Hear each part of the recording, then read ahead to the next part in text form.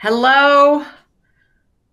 I'm going to take a deep breath and wait a second um, while we welcome you in. And um, I'm Mel Robbins.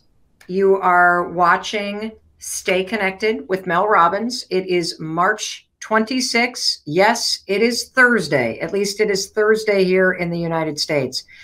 And I want to welcome you. If you have uh, been watching Stay Connected with Mel Robbins for a while, welcome back. If you're brand new to our weekday uh, live stream, welcome.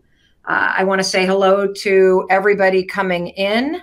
Um, Iowa, hello. Uh, New Mexico, hello. Ireland, hello. Brazil, hello. Um, Dubai, hello. Traverse City, Michigan. Woo! Got the mitten up. Belgium, awesome. Welcome to Sacramento. Welcome Morocco. Jersey in the house. I got the fist bump for the Jersey folks. Venezuela, love it. Hello from Michigan, the Netherlands. I love our community. Kuwait. Uh, truly global community watching Stay Connected. And Stay Connected with Mel Robbins uh, is here for one reason it's to help you stay connected to yourself and to a global community uh, around the world that is here to encourage you and to help you through this collective moment of anxiety and through uncertainty. And every single day we get together. Uh, if you're on the West Coast in the United States, in California or Washington, we are on at 9 a.m. If you're on the East Coast of the United States, I go live every weekday at noon. If you're in London, it's 4 p.m. If you are in India, it is 9:30 at night, and if you are our friends in Australia, it is three o'clock in the morning. Every single weekday, I am here because we are stronger together, and there are simple things that you can do, even in a very overwhelming moment of time simple things you can do every day to make your day a little better. You know, you've heard me say a million times if you've been following me for a while that uh, you are one decision away from a different life. And what Stay Connected with Mel Robbins is about is the fact that you are one decision away from a better day. And today we're going to be talking about something um, as we welcome you in from around the world. And if you're new to this, the way that we begin is just with a quick check in. Hello, Moscow. I'm giving you the thumbs up right here, the little uh, emoji that you gave me. Um, the way that we start this is I want you to go to the comment wherever it is that you're watching from. We are live right now on LinkedIn. We are live on Twitter. We are live on YouTube. We are live on Facebook and we are live on Instagram wherever you are watching and tuning in, please go right to the comments and uh, tell us where you are watching from. And today's topic hello, Iran. Hello, Atlanta. Oh, another person in Iran. We've got uh, Germany, Hungary on YouTube. We've got somebody tuning in from Aruba. We've got uh, people all over the place in LinkedIn. So, welcome, welcome, welcome. And today I got a topic uh, boy, do I have a topic. Are you worried that your parents or your grandparents are not taking the coronavirus seriously enough? I want that to set in for a minute. I've been noticing articles popping up all over the place, and I myself am having this issue with people in my life who are older, who I feel are not getting the risk right now and are not getting the urgent moment of time. So, wherever you're tuning in from, give me a thumbs up if you feel like you are overly worried about your parents and your grandparents and that they seem to not be taking the coronavirus that seriously. I see a ton of yes, yes, he's a trucker. Yes, Yes, it's my brother. Yes, it's my grandfather who's still playing golf every day. Yes, my 93 year old mother in law you're worried about. Yes, as long as there's a bridge uh, uh, group meeting, my mom is going out. And why can I not get her to understand the seriousness of this? That's what we're talking about today. And I've got some unbelievably simple and helpful advice. And before I was on with you, I was on with Dr. Oz talking about this topic because so many of us are struggling because we know that right now um, the coronavirus is a global phenomenon. And whether or not your community has been impacted at a profound level the way that our friends i see this my stepfather who has diabetes you're worried about. My aunt she just keeps going to all these stores.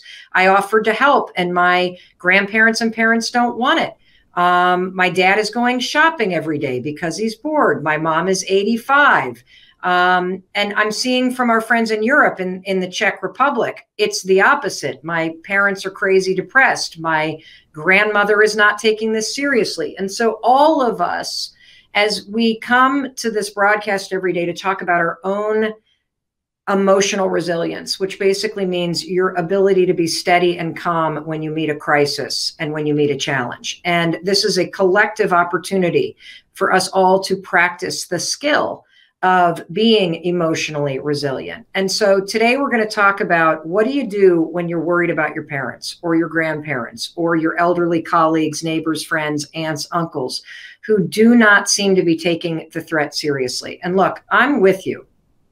I'm with you about this because when I look at the facts, and right now is a time to tune into doctors and experts who have studied epidemiology and experts that have studied infectious disease. It is a time to look at the data.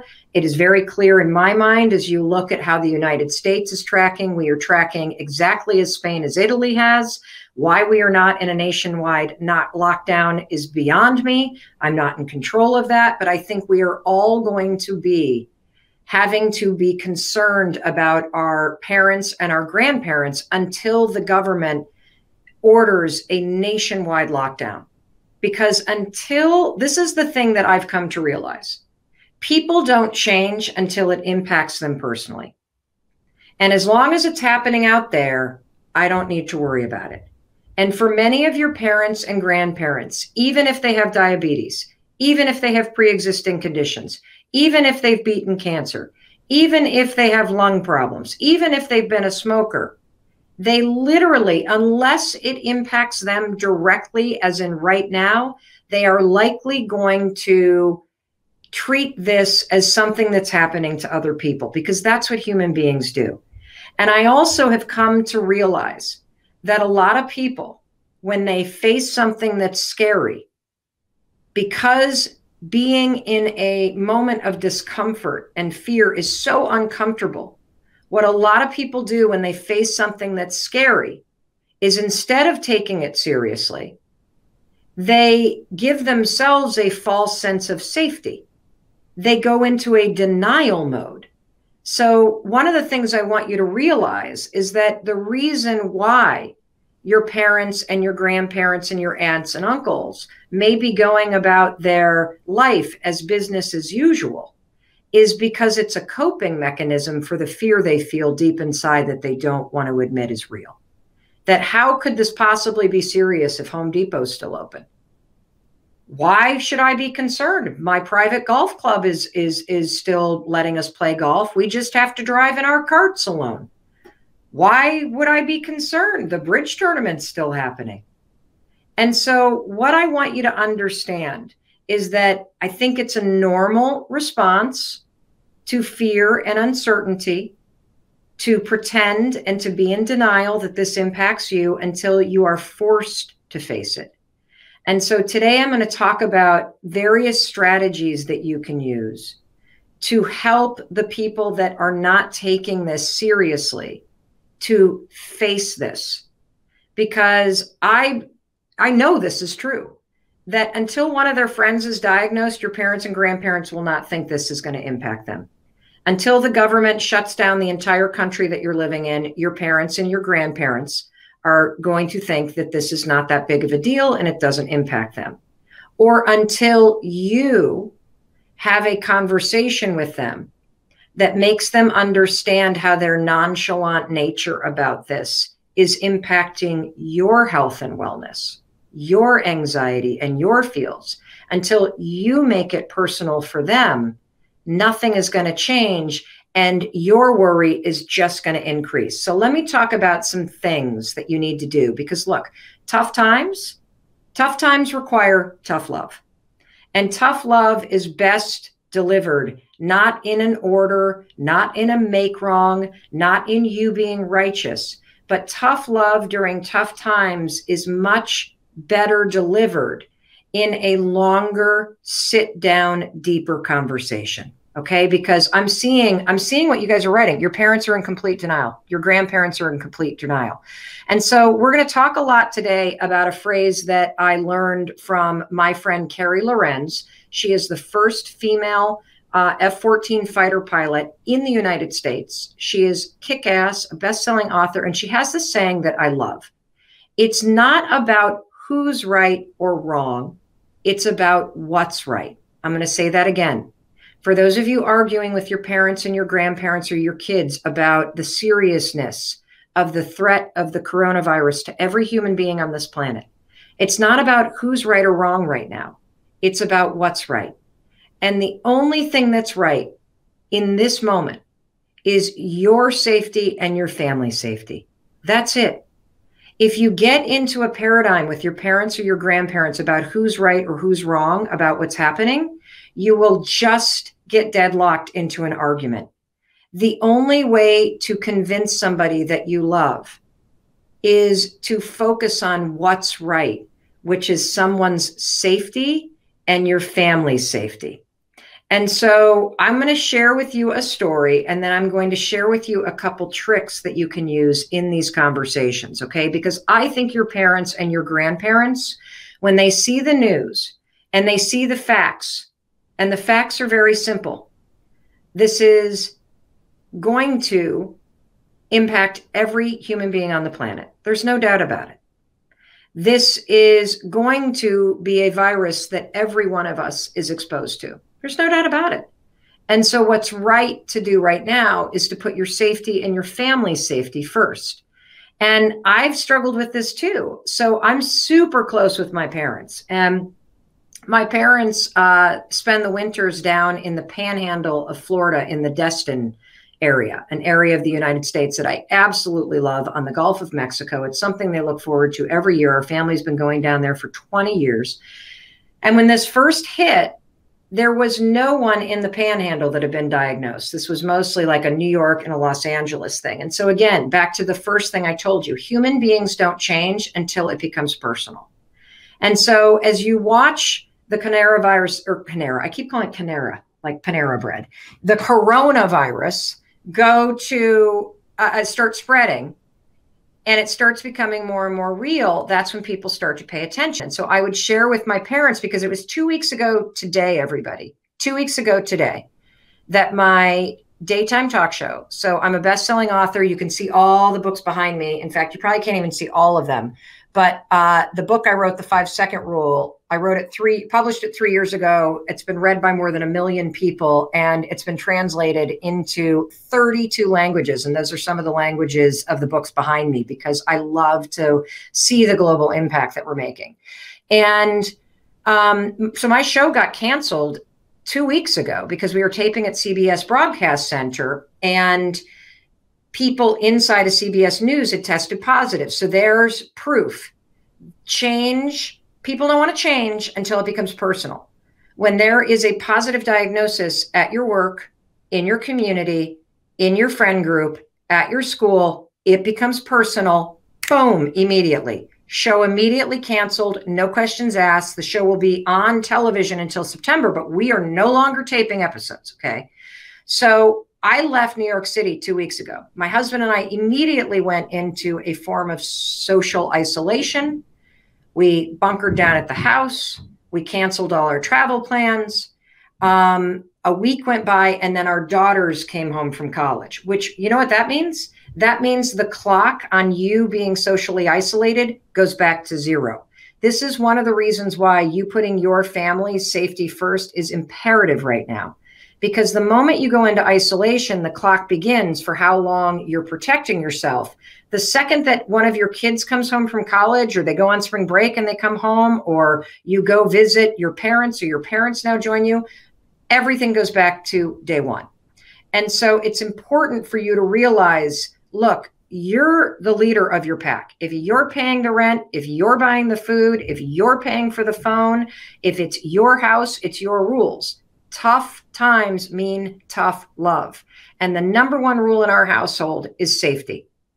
We I am not even entertaining conversations with our 21 and 19 year old right now about their independence and their personal freedoms and the fact that they're bored. I don't give a shit because the number one job that I have right now as a parent is to keep your ass safe and to keep myself safe.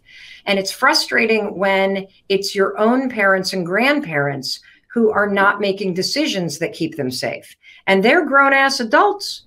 You can't do anything about it.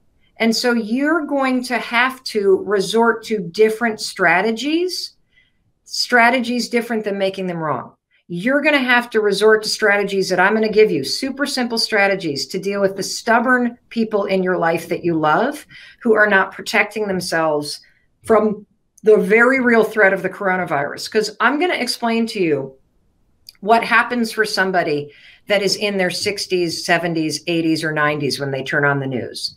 The news is terrifying because the news that you see is that the virus is coming to your neighborhood the news that you see is that hospitals are overwhelmed.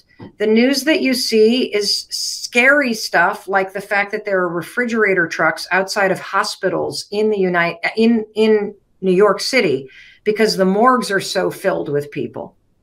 And the news that you see are doctors pleading with you to stay home. And what people in that age group also see is that when there's a ventilator shortage, who are they going to choose? It's not going to be the 80 year olds and the 70 year olds. It's going to be the people with a better expectancy because that's what's happening in other countries. And so if you see that news, you have two choices, right? You can either accept that news as fact and you can start to do what's right, which is to keep yourself safe given what's happening, or you can make a second choice and you can convince yourself that this doesn't affect you and you can go in denial because you're actually scared. And that's what I think most senior citizens are doing. I think most people that are 65 and above have a level of fear about this that has placed a, a, a placed them in denial. And they are coping by giving themselves false senses of safety. They're not being uh, they're they're not it's almost like they're not even being irrational it's a coping mechanism that somehow if i can go to home depot and home depot's still open being able to do something that feels normal makes me feel like i'm in control but what we know is that they're right going to home depot going to the the the pharmacy it's something that's normal so it makes you feel like things are normal. It makes you feel hmm. okay. They're right about that. But it's not about who's right or wrong. It's about what's right. And what's right is to do things that keep you safe. And this is where we need to take the conversation.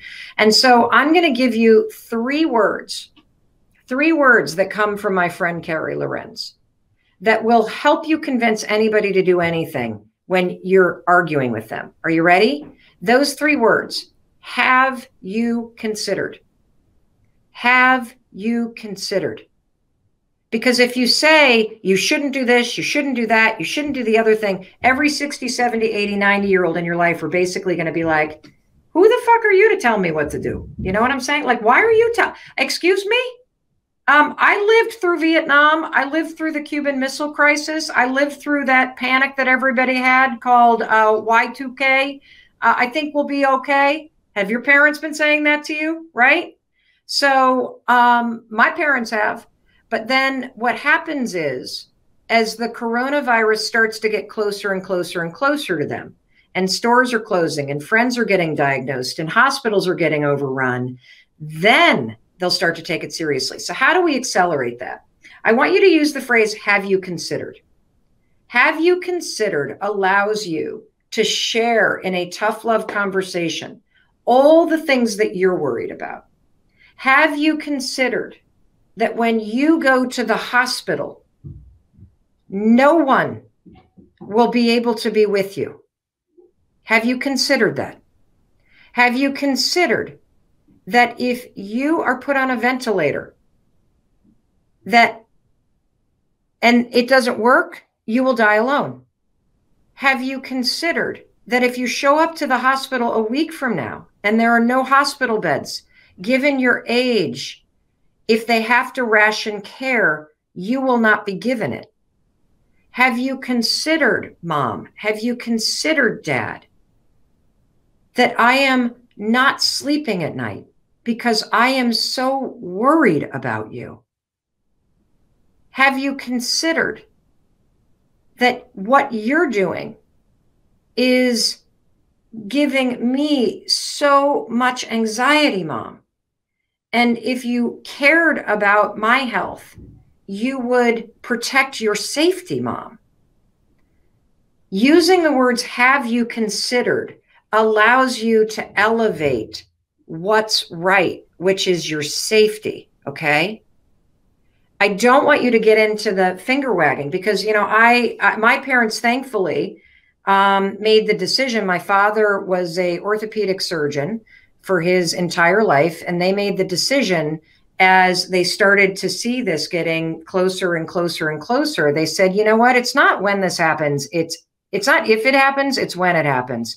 And I would rather be in Michigan in our hometown, surrounded by friends and neighbors, and at the hospital that I used to work at, if this, you know, when this happens, than being in Florida in a vacation town surrounded by tons of people our age that are going to overrun the beds. So my parents thankfully drove back home to Michigan last week. Thank you, mom and dad. I was sleeping better immediately. My mother in law, on the other hand, who I love dearly, is um, making me crazy because she's 84 years old. And I know she jumped out of an airplane to celebrate her 80th birthday. And I know she goes for a four mile walk every day. And she is literally one of the fittest people I know. But she's 84 freaking years old. And she is in Florida right now, where half the population, I don't know that this is true, but that's where a lot of old people are. So the first place where the beds are going to get overrun and ventilators are going to run out is likely going to be Florida. And Florida still hasn't put the whole state in a shutdown. For crying out loud, they didn't even shut down the beaches until a couple days ago. So, you know, I, I said to her, I'm terrified about you. And you know what she said to me? Brace yourself, everybody. She said, I'm okay because there's a bridge to get over here to Vero Beach. There's a bridge, everybody. I'm like, woman, this is a virus that has traveled across oceans, that has jumped from country and to country. You don't need a passport to get this thing. This is airborne and it is coming. And just because there's nobody diagnosed in your county, probably because nobody's been tested yet, everybody's grandkids just came down to visit them for freaking February break. You don't think that this is going to be a disaster? You're still going to your golf club? And you think just because you get in the golf cart and drive alone? Now, do you see that my tone of voice? It's a make wrong. It's a make wrong. When you communicate like that, you communicate, I think you're an idiot. And there is no faster way to get somebody to dig their heels in than to communicate that way. And so it's not about who's right or who's wrong because she's right, there's a bridge. But it's about what's right. And what's right is, is taking every precaution right now to keep yourself safe. And in my mind, I would feel a lot better, and I know my husband would, if she weren't in Florida, but if she were back home in Vermont. So I started using the have you considered? And I think the one that probably flipped a switch was when I said, Have you considered that if you do get sick and you do go into the hospital, no one in the family will be able to go into that hospital to see you? And I know her family is more important than anything. And I think it was that thought because when we spoke to her last night, she's now contemplating caravanning back to Vermont with some of her friends have you considered is like dropping a little grenade in somebody's head. and it makes them start to ruminate on the facts that are making you stressed out. And what happens is somebody comes to their own conclusion when you say, Have you considered? Nobody wants to be shamed into changing. Nobody wants to be berated into changing. Nobody wants to be made wrong right now. Everybody is afraid of this thing. Even those of you that keep saying, oh, this is God's plans. It is what it is. Whatever you need to say in order to keep yourself calm, keep saying it. But it's not about who's right or wrong. It's about what's right.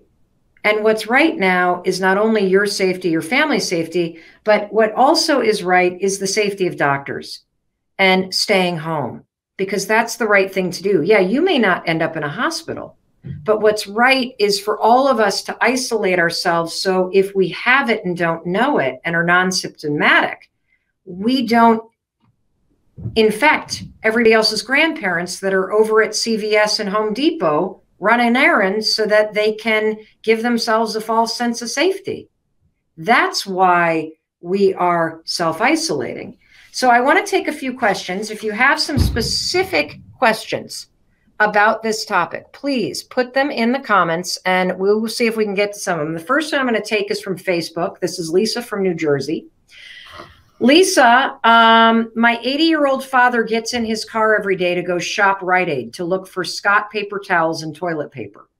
How can I explain to him it's dangerous for him to be in a grocery store? He will not listen to me. So, Lisa, you are all of us. And your grandfather, who goes to Rite Aid every single day to look for Scott paper towels and his toilet paper, that is a coping mechanism. Your 80 year old father is probably too proud of a man to admit to you that he is afraid of this. And the fact that he is going to the store, something that he does all the time, part of his normal routine, and he's looking for particular item, Scott paper towel and Scott toilet paper. That is a creature comfort. That brand makes him feel safe. And it's what he's doing in order to tell himself he's still okay.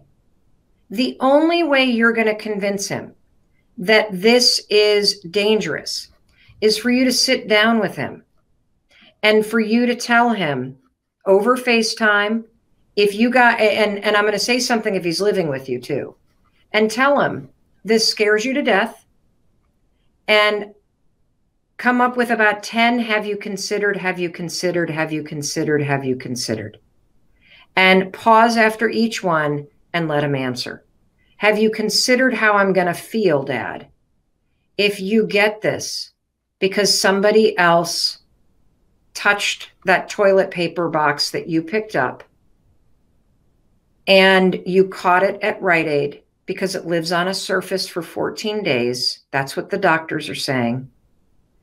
And you go to the hospital, dad, and you are on a ventilator, and I'm not allowed to come see you. You guys, our dog was really sick the other day, and we took him to the vet. This was two days ago we couldn't go into the vet with them. They had to come out with gloves and masks on and take our dog from the car and into the vet because of the coronavirus. So if you start saying, Have you considered how I'm going to feel, daddy? If you're in the hospital and I can't come in and be with you, I'm sure he hasn't considered that.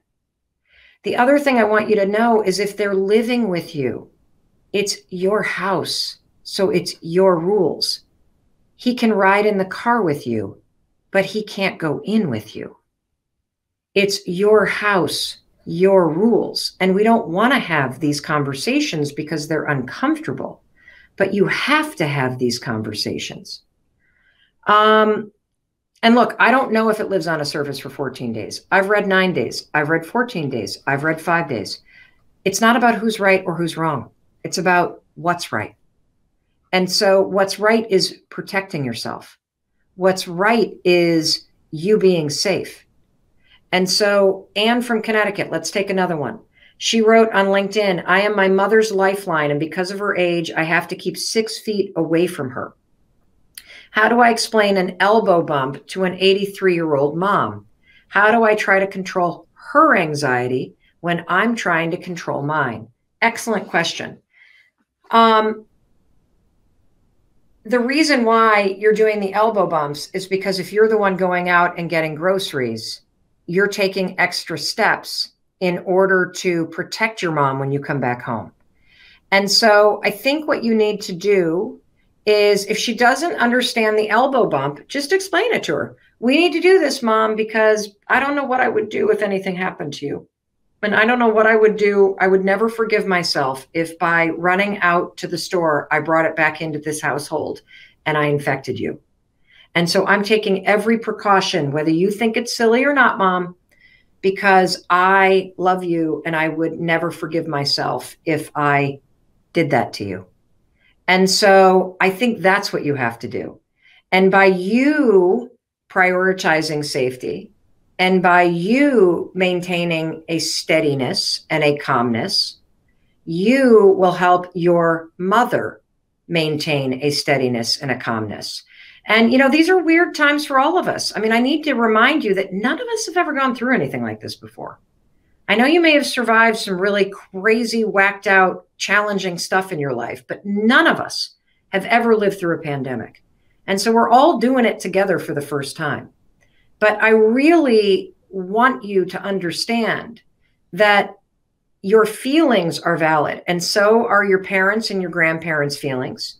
And so, number one, when you sit down and you have those tough conversations, because that's what tough times and tough love require, always validate somebody's feeling. I know you think this is stupid. I know you think you're not going to get it. I know you think that this is all, you know, something that the media has cooked up. I know you think that this isn't coming to your town because you have a bridge. I hear you. Validating what somebody's saying lowers their uh, desire to argue with you. And then you keep focusing on, but what's right is our safety. What's right is your safety. What's right is self isolating so that we can not spread this to other people who are compromised and so that we can all together flatten this curve down. And mom, have you considered? That's your three steps today, everybody. Validate somebody's feelings. It's not about who's right or wrong, it's about what's right. And have you considered? And I'll have to report back on whether or not my mother in law is driving home to Vermont. I sure hope so. I would love and feel like, oh gosh, hopefully she'll be in a place um, where she's less likely to get infected and where she's with the community of people that she knows. But, you know, look, at the end of the day, she is a grown woman and she's going to make her own decisions. And all I can do is have her consider things that concern me. And I am so happy that my parents are home. And this, by the way, is why it is critical for every politician to have a moment of courage right now and to just shut this shit down.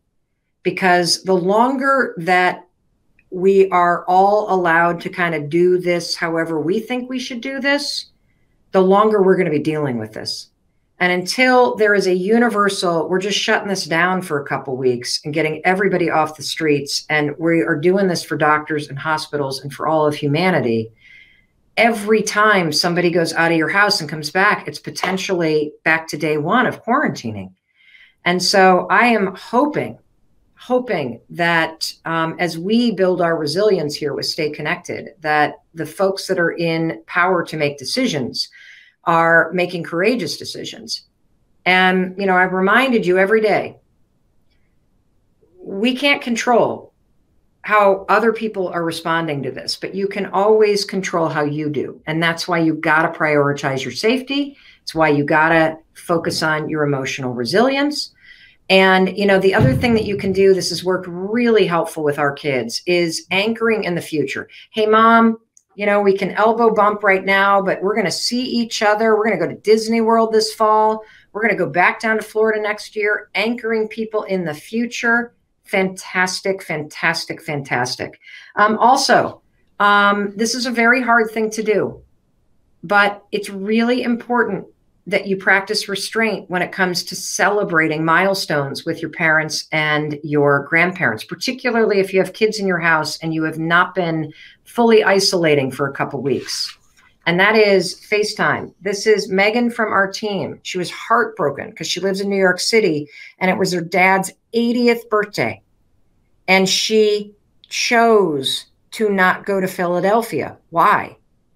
Because she loves him and she did not want to expose him. And so here she is on FaceTime with him at his 80th birthday. And this is what you do when you love somebody you make the hard choices. And, you know, none of us chose this, but we can choose what we do in response to it. And that's why I'm here every day to help you stay connected, to help you stay strong, to remind you that we're going to get through this together and that it's not about who's right or wrong. It's about what's right. And what's right is your mental, physical, and emotional safety. So take it seriously. I hope this helped. If it did help, please, please, please share this with all your friends and family. If you go to melrobbins.com slash stay connected, you can see a whole list of all the episodes so far. We've been doing this uh, for over a week now. We were featured on Dr. Oz and will be uh, again tomorrow. So tune in to Dr. Oz. Keep tuning in to the Mel Robbins Show, which is airing nationwide in the United States five days a week on television. And make sure you're right back here every single weekday online with me, Mel Robbins, for Stay Connected. And if you want one more resource, if you go to Facebook, I don't know where my photo is. If you go to Facebook and search Stay Connected with Mel Robbins, you'll find our global community. There's almost 15,000 people in our community.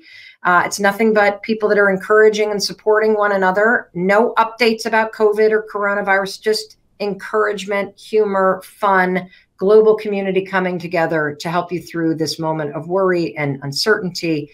And I promise you, you stay with me, you will emerge from this stronger and better version of yourself.